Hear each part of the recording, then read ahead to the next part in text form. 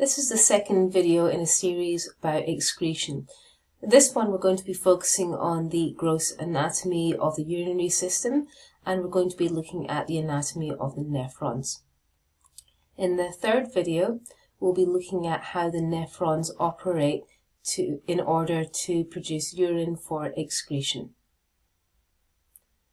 The learning objectives for this lesson are detailed here we are going to be looking at the anatomy for this one, as I've said. So we need to understand the different parts of the urinary system and of the nephron. Once you understand these things, we will apply them and look at their function in the next lesson after this.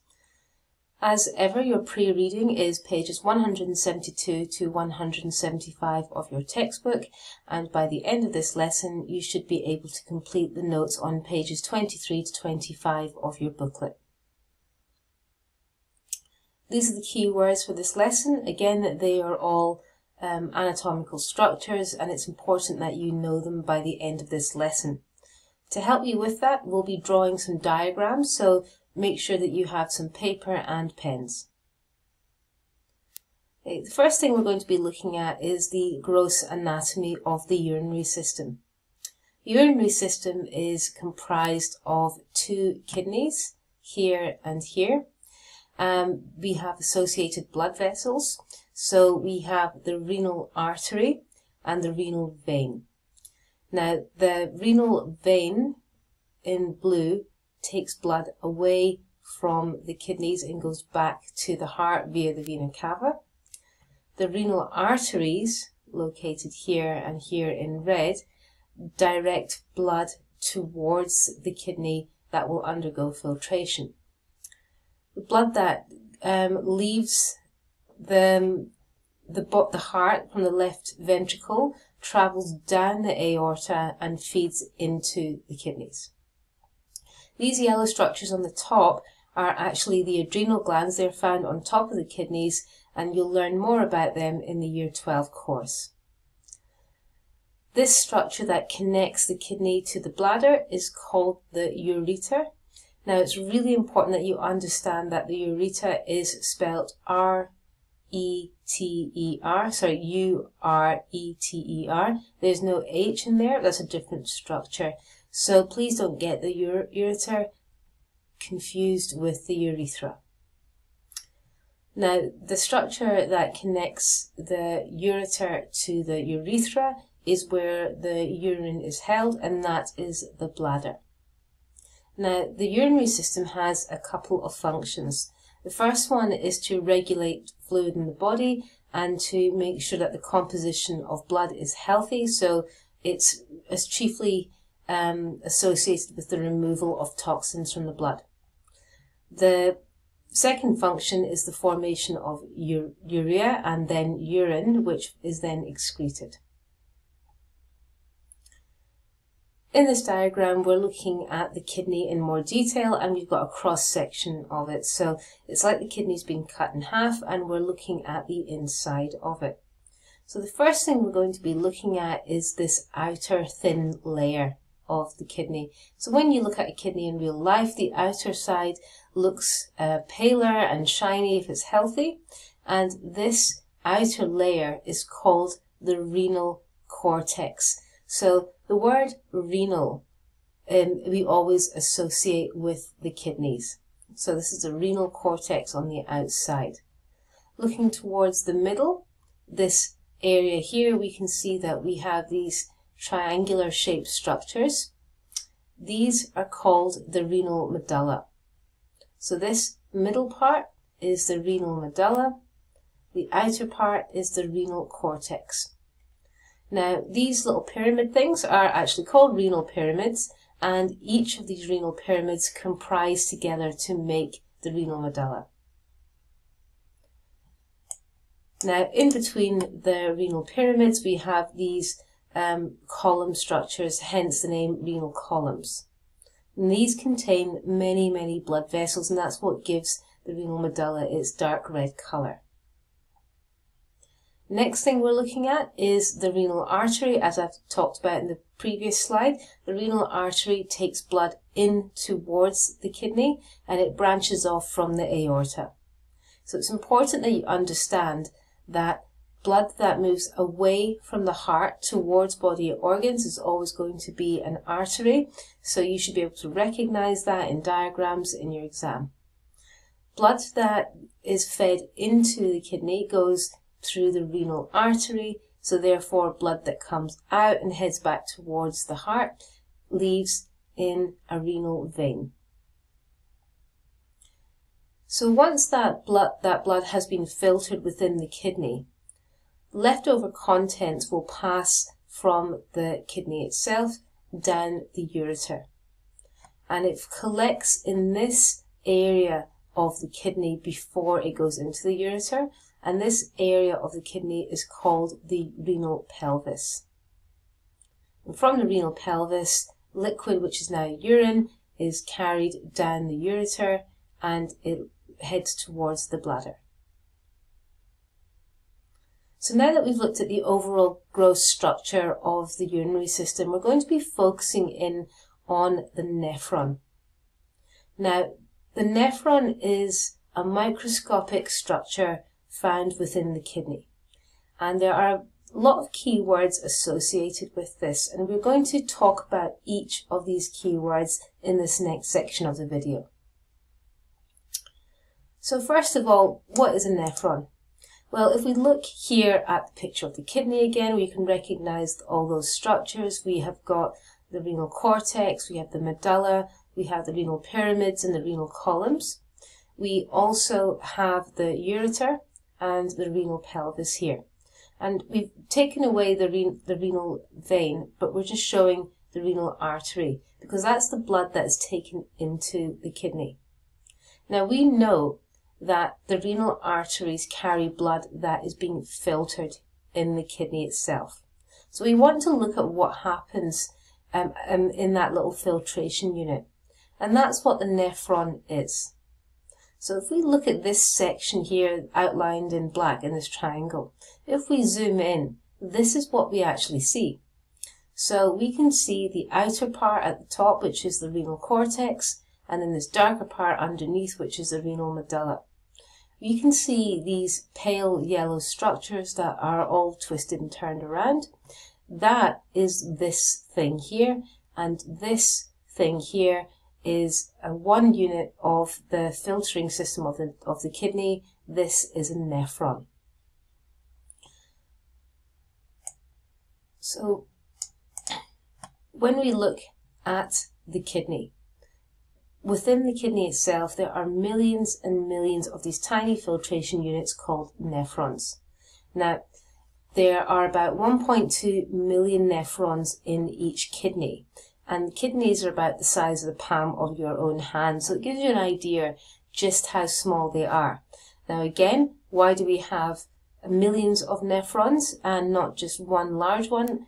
Again, it's for increased rate of filtration because each small one will yield a larger surface area to volume ratio. You'll notice in this diagram here that we have lots of um, capillaries wrapped around the nephrons. And again, this is so that we have rapid exchange of nutrients um, and substances going into and out of the nephron and the blood vessels, similar to the type of processes we talked about in digestion and the respiratory system. Here we've got a large picture of a nephron and we're going to be exploring each part of it. So when we start looking at the nephron, let's look at the left-hand side of this picture. We have got the renal artery, and then we have a small branch of an artery. And because it's a small branch of an artery, it's called an arteriole. Now, if you look at the arrow on this diagram, the, the branch is going in towards this large knot of blood capillaries. So because it's going into, and it's at the start, it's called the afferent arteriole. And we can see on the other side of that knot, you have um, an arrow showing a blood vessel leaving it. It's still a branch of an artery, so it's still an arteriole, but it's leaving, so it's the efferent arteriole. So entering this knot of blood capillaries, we have the afferent arteriole, and leaving it, we have the efferent arteriole. The knot of blood capillaries itself is known as a glomerulus. So the glomerulus is a knot of blood capillaries and it sits inside this backwards C-shaped cup.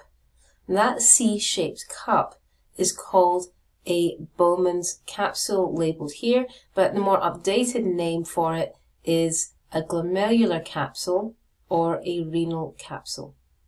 So, so far we know that a branch of the renal artery that's feeding into the start of the nephron is the afferent arteriole. The knot of blood capillaries found at the start of the nephron is known as the glomerulus, and that sits inside a glomerular capsule. And then the knot, the, after the knot of blood capillaries, we have the afferent arteriole leaving. Now, if we carry on looking at the nephron, we can see that the first part after the glomerular capsule is this um, tube, which is all twisting and turning. Now, because it's close to the glomerular capsule and the glomerulus, it's in close proximity. So we say it's the proximal convoluted tubule. Proximal because it's close proximity, convoluted because it's all twisted and turned, and it's tubule. So proximal convoluted tubule then straightens up into this really long hairpin loop. And this hairpin loop is called the loop of Henle. Now the loop of Henle has two branches. We have the one that's heading down, so it's therefore known as the descending limb of the loop of Henle. And then on the way up, we have the ascending limb of the loop of Henle. After the ascending limb, we then get into another twisted and turned tubule, and this time it's quite distant from the glomerulus and the glomerular capsule, hence it gets called the distal convoluted tubule. After the distal convoluted tubule, we end up in this long straight duct called the collecting duct. The collecting ducts will all join up to form the ureter. So this area is found in the renal pelvis. Now, as you can see, these capillaries wrap around the tubules. So they're called the peritubular capillaries. Okay, so there's lots of terminology there. So to help us understand this, what I'd like to do is get a piece of paper, pause the video, and draw this simple diagram. Once you've drawn the diagram, I would like you to label the glomerular capsule, the proximal convoluted tubule, the distal convoluted tubule, loop of Henle and collecting duct. Pause the video here and see if you can do that and then once you've done we'll go over the answers. Okay, so hopefully you were able to do that and here are the answers for each section of the nephron structure. At the moment, we haven't um, labelled any of the blood vessels. We've simply got the basic anatomical structure of one nephron. Now we're going to start looking at the renal uh, tubule and the associated parts. So the renal tubule is everything you see in this gold colour. So that's what we've just drawn. Okay, now we're going to be looking at the next part, which is looking at the blood vessels. Now, get a red pen and I want you to draw on your diagram and label the afferent arteriole, the efferent arteriole, glomerulus, and the peritubular capillary network. You might want to go back and have a look at the images on the previous slides, or you can try and draw this from memory. So with a red pen, let's draw those blood vessels.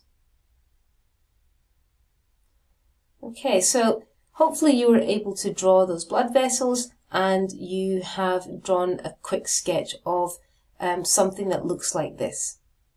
Now remembering the direction of the blood flow as we go into and out of the, the glomerulus, we're going to start over here. So this is the afferent arteriole. If you haven't already done so in your diagram, I'd like you to make this um, arteriole wider than the efferent arteriole. So here, we want to really make that distinction that the afferent arteriole is wider than the efferent arteriole. And we'll talk about why that's important in a second. So we need to label this knot of capillaries, which sits inside the glomerular capsule. So that, of course, is the glomerulus. We then have these um, blood capillaries that wrap around the tubules. They are known as the peritubular capillaries. Okay, so that's the end of this lesson. So we've understood some of the basic anatomy of the urinary system and of the nephron. Before we finish this lesson, I'd like you to please use your textbook to help you summarize what you've learned so far. There's a really good summary on page 189 of your textbook, and I'd like you to use the information on page 173 to complete this table, which is found on page 25 of your class notes. It's really important that you are able to confidently identify these structures and describe a little bit about what they do before we go on to the third lesson in this series.